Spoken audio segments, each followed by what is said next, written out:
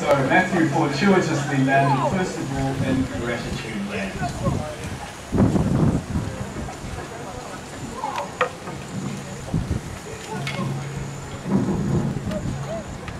So the sound seems to be quiet. This is Matthew meeting Captain James Chiropractor and his lovely wife Ned.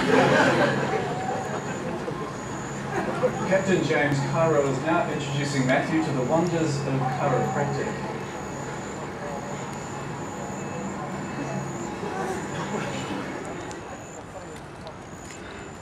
Matthew feels invigorated after his first adjustment.